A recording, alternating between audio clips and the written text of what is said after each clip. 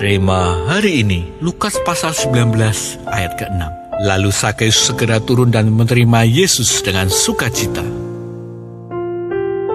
Dalam hidup ini, Tuhan sering kali memberi kita kesempatan di waktu-waktu yang tidak terduga. Zakheus yang diceritakan dalam Injil Lukas tidak menyia-nyiakan waktu ketika Yesus memanggilnya. Dia merespon dengan cepat dan penuh sukacita. Beginilah seharusnya respon kita atas panggilan Tuhan. Ketika Tuhan mengetuk hati kita, janganlah ragu ataupun menunda-nunda. Respon yang cepat dan penuh sukacita menunjukkan bahwa kita siap menerima kesempatan emas yang Tuhan berikan. Kesempatan yang datang bisa jadi atau bahkan sering kali bukan sesuatu yang menyenangkan untuk dilakukan. Kita mungkin harus berperang melawan daging, mengalahkan ego, merendahkan diri, merelakan sesuatu atau hal lain yang sesungguhnya berat kita rasakan. Bagi Zacchaeus, turun dari pohon dan harus menerima tatapan mata banyak orang yang mungkin mentertawakan dia tentu bukanlah hal yang mudah. Tetapi Zacchaeus tidak peduli karena ia melihat kesempatan yang Tuhan berikan lebih dari apa pun. Demikian pula jangan biarkan keraguan atau ketakutan menghalangi kita untuk menerima kesempatan dari Tuhan.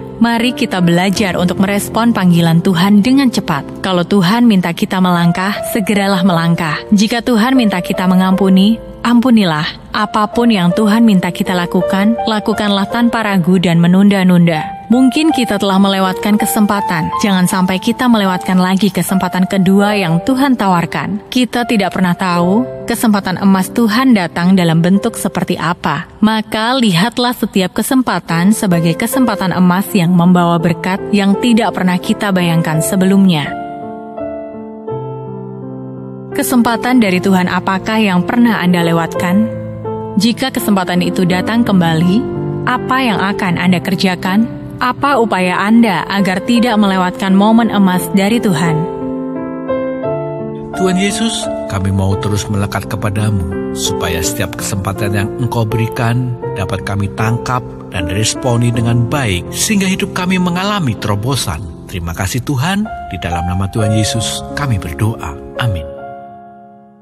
Jangan lewatkan kesempatan emas dari Tuhan dengan selalu merespon dengan cepat.